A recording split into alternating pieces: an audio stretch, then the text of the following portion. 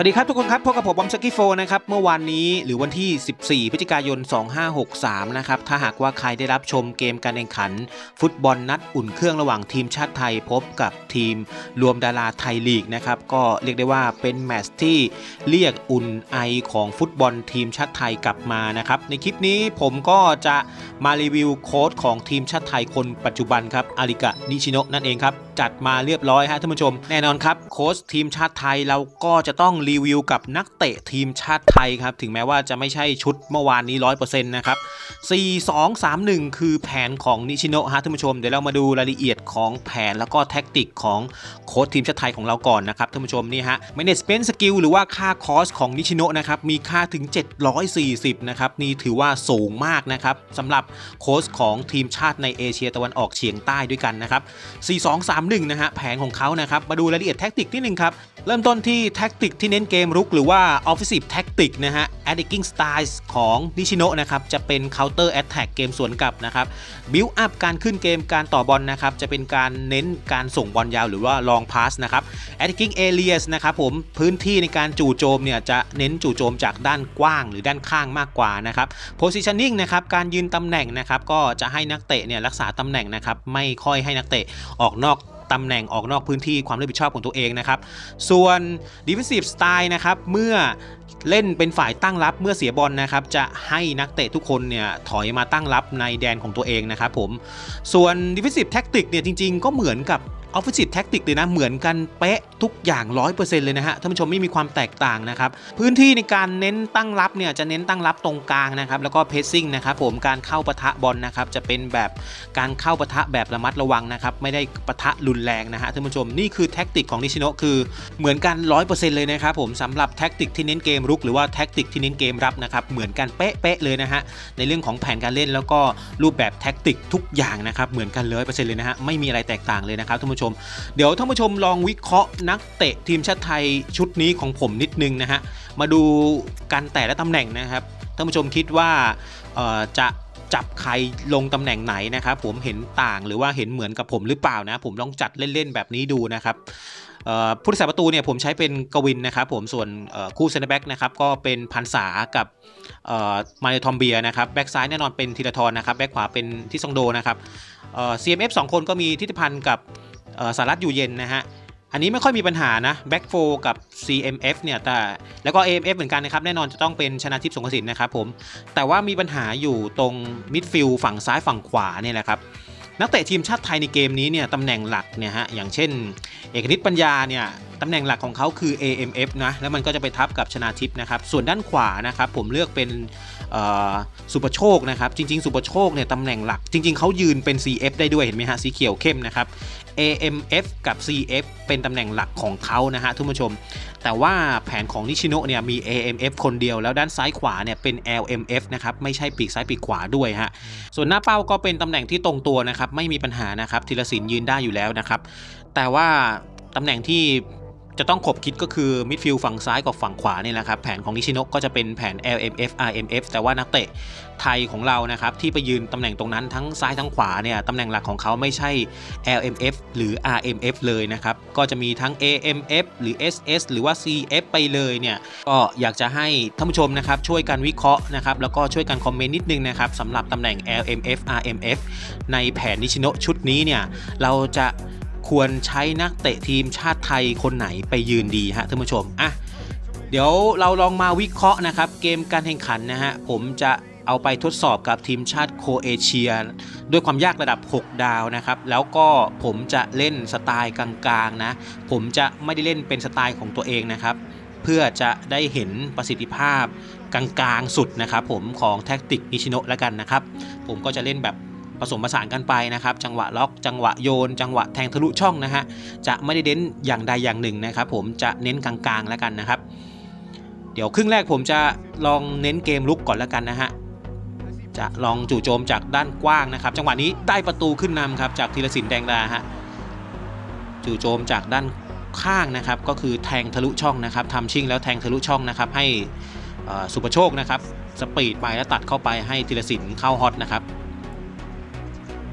แผนนี้ดีอย่างหนึ่งฮะท่านผู้ชมคือทั้งปีกซ้ายปีกขวาเนี่ยยืนต่ำเป็นมิดฟิลด์นะ LMF RMF นะครับทำให้ระยะห่างนะครับระหว่างปีกทั้งสองข้างกับมิดฟิลด์นะครับไม่ว่าจะเป็น AMF อย่างชนะทิพย์หรือว่า CMF 2 คนนะฮะก็คือทิติพันธ์กับสารัตเนี่ยยืนไม่ได้ไกลกันมากนะครับ จังหวะการทำชิ่ง วันทูหรือว่าทำชิ่งแทงทะลุช่องเนี่ยก็ทำได้ง่ายกว่าแต่หน้า3นะครับที่ปีกยืนสูงนะครับก็คือ LWF กับ RWF นั่นเองนะครับอันนี้มาดูจังหวะการตั้งรับนะฮะ จะสังเกตเห็นว่านักเตะเนี่ยก็จะถอยล่นลงมานะครับตั้งรับต่ำที่หน้ากรอบเขตโทษของตัวเองนะฮะดู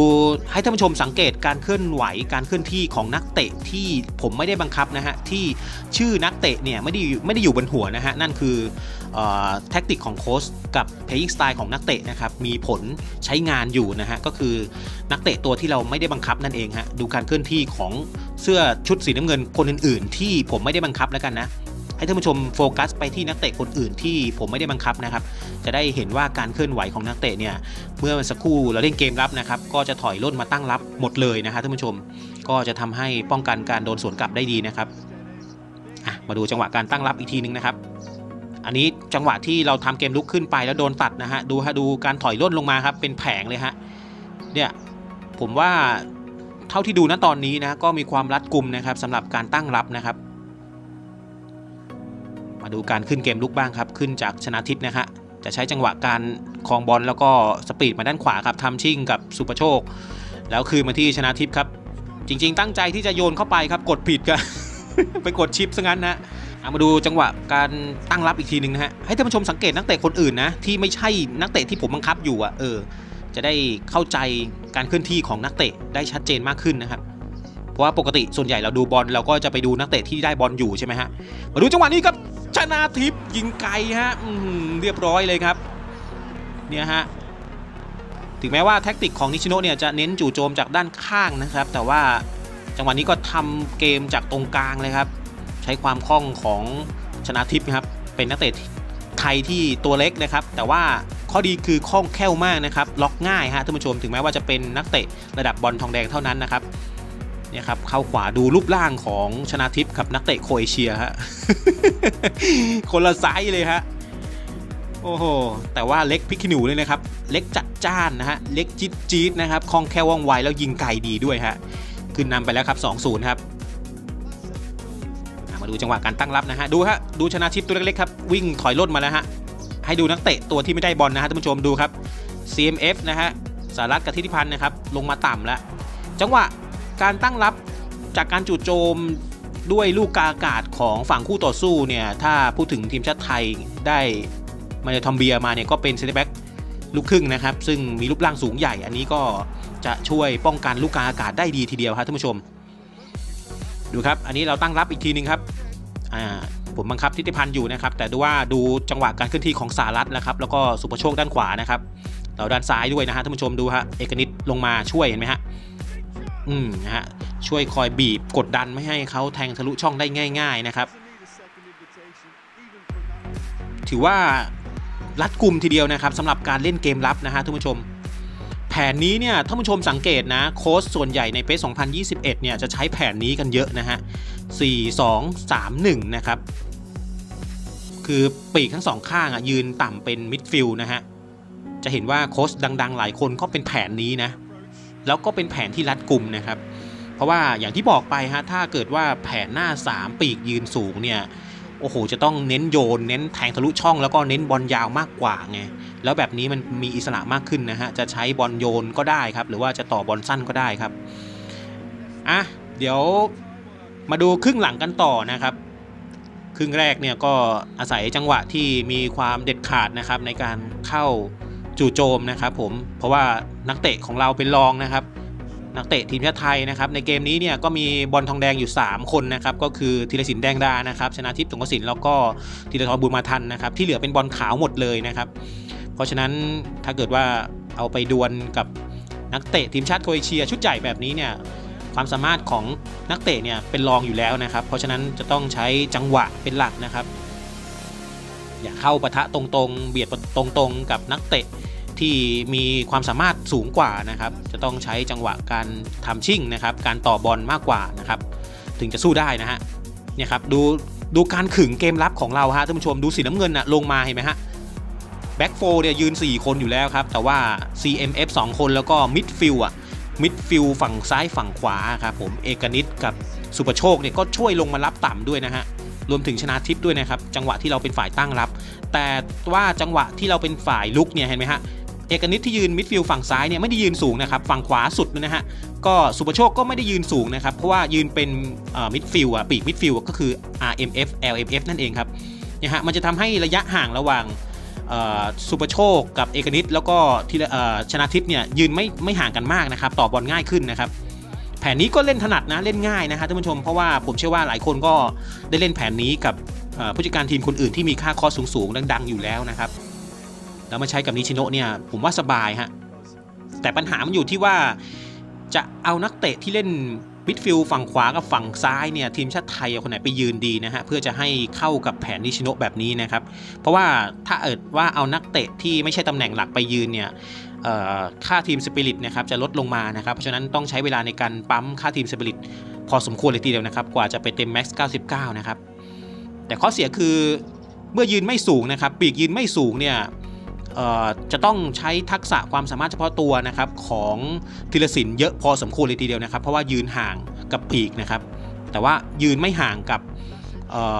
ชนะทิพย์นะครับ เพราะฉะนั้นจุดสำคัญก็คือจุดเชื่อมเกมนะครับระหว่างชนะทิพย์กับธีรศิลป์นี่แหละฮะ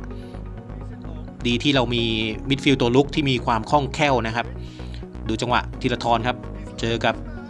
เปริซิชครับ ยัดเข้าไปด้านในครับ แล้วตัดเข้าไปเราเซฟได้สวยครับ จังหวะนี้กวิน แท็กติกตอนที่เราเล่นเกมรุกไปเนี่ย การต่อบอลของนิชิโนะนะครับผมจะเป็นการเน้นการสวนกลับนะครับ เป็น counter attack นะฮะ แต่ว่าถ้าผู้ชมสังเกตเห็นแล้วว่า ถึงแม้ว่า จังหวะที่เราไม่ได้เล่น counter attack เนี่ยเราเล่น possession game หรือว่าค่อยๆ ต่อบอลขึ้นไปนะครับสำหรับแผนนี้เนี่ยมันก็ทำได้ดีนะฮะทำได้ลงตัวนะครับ เราไม่จำเป็นต้องเล่นสวนกลับทุกครั้งนะฮะท่านผู้ชมเราสามารถสลับกันได้นะครับ บางจังหวะเล่นสวนกลับได้นะครับ บางจังหวะเล่นเน้นต่อบอลเน้นความชัวร์ก็ได้เหมือนกันนะฮะแต่ถ้าเกิดว่าเราจะทำฟูลทีมชาติไทยนะครับ มันต้องเป็นอารมณ์ที่เราอยากเล่นทีมชาติไทยจริง ๆ นะฮะท่านผู้ชม เราไม่สามารถเอานักเตะทีมชาติไทยชุดนี้นะครับไปแข่งทัวร์นาเมนต์รายการที่จะต้องเน้นผลแพ้ชนะ หรือว่าเอาไปเล่น event tour ต่างๆเนี่ยอาจจะได้โบนัสน้อยนะครับ เพราะว่าค่าโบนัส point มันอาจจะน้อยนะครับ เดี๋ยวมาดูจังหวะของชนะทิพย์ครับ ตัดเข้าไปแล้วพยายามที่จะหักเข้าขวานะครับ เพื่อจะลองปั่นนะ จริงๆ ค่าความสามารถในการปั่นโค้งของชนะทิพย์ผมว่าน่าจะเพิ่มอีกน้อยนึงนะ ไม่งั้นจะ เนี่ยมันอาจจะวางเท้าไม่ดีนะครับ จังหวะนี้ปั่นแล้วไปเข้าตรงกลางบริษัทประตูเลยเหมือนจะไม่มีประโยชน์เลยนะครับ จังหวะเมื่อสักครู่ แต่ก็อย่างที่บอกนะครับท่านผู้ชมการที่เราตัดสินใจนะฮะที่อยากจะเล่นฟูลทีมชาติไทยนะครับ อยากจะหาโค้ชนิชิโนะมาคุมทีมชาติไทยเนี่ยแสดงว่าเราไม่ได้สนใจเรื่องผลแพ้ชนะนะครับ เราอยากได้บรรยากาศฟุตบอลทีมชาติไทยนะครับ เล่นแล้วมีความสุขกับนักเตะทีมชาติไทย นักเตะทีมชาติของเราเองนะครับ จบเกมครับก็ถือว่า เกมนี้นะครับสังเกตเห็นชัดเจนเลยนะฮะว่าเกมรับรัดกลุ่มนะฮะท่านผู้ชมไม่หลุดนะฮะไม่หลุดนะครับแล้วก็เกมลุกนะครับถ้าเกิดว่ามิดฟิลด์ตัวลุกอย่างชนะทิพย์ของเราเนี่ยมีความแน่นอนในการทำเกมนะครับมีความคล่องแคล่วสามารถผ่านบอลนะครับเชื่อมเกมไปทางปีกหรือว่าเชื่อมเกมกับทีละสินได้เนี่ยเกมลุกก็ถือว่าโอเคทีเดียวนะครับท่านผู้ชมโอเคนะครับสำหรับโค้ดนิชิโนะนะฮะถือว่าเป็นแผนที่ผู้จัดการทีมส่วนใหญ่ก็เลือกใช้แผนนี้เหมือนกันนะครับ ปรับตัวไม่ยากนะครับสำหรับการเล่นแผนนี้นะฮะท่านผู้ชม แล้วก็สำหรับใครที่อยากจะได้นิชิโนะมาครอบครองนะครับผมก็ย้ำกันอีกครั้งหนึ่งนะครับ บางคนอาจจะไม่ทราบนะครับ ในเกมนี้เนี่ยตลาดผู้จัดการทีมนะครับจะรีเซ็ตวันละ 3 รอบนะครับผมก็คือ9โมงเช้า5โมงเย็นแล้วก็ตีหนึ่งนะครับตามเวลาประเทศไทยนะ9โมงเช้า5โมงเย็นตีหนึ่งนะครับทุก ID จะรีเซ็ตไม่เหมือนกันนะครับจะรีเซ็ตแล้วจะเอาผู้จัดการทีมที่เรายังไม่มีนะครับผมแบบสุ่มมาให้เราได้เลือกซื้อกันนะครับแต่ละ ID ไม่เหมือนกันนะ ไม่ใช่ว่าเราเห็นนิชิโนะมาแล้วตอน5โมงเย็นนะครับก็เลยโทรบอกเพื่อนว่าเฮ้ยนิชิโนะมาแล้วไม่ได้ครับแต่ละ ID สุ่มมาไม่เหมือนกันนะครับโอเคนะครับสำหรับคลิปนี้ก็มีประมาณนี้นะครับใครที่เพิ่งมาชมช่องอย่าลืมกด subscribe กดติดตามให้ผมด้วยนะครับแล้วเจอกันคลิปต่อไปครับสำหรับคลิปนี้ลาไปก่อนครับ สวัสดีครับ